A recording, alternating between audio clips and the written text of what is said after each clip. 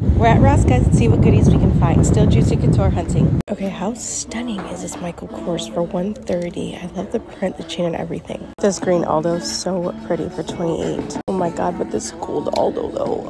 Holy, oh, 30 Okay, no, I'm not gonna take it. That is so pretty though. Never seen this flower Aldo before for 28 Never seen this mesh juicy couture for $10. This is cute. Never seen a Snoopy poster before for 12 that's pretty. Seek adventure. I feel like this is the same Peeps blanket that we saw last time for 13. Are people like obsessed with peeps? Because I see that everywhere right now. These are cute, but just not my thing. This is such a cute Easter blanket. I love the imprinted flowers. These are 13. I love how Ross is getting like really nice dresses here. These are so cute for like really special events. This is 20. Then we saw this green one last time. This one's only $30. It looks way more expensive. Okay, such a cute sweater. I love the fur on top for 18. This cardigan is also super pretty for 22.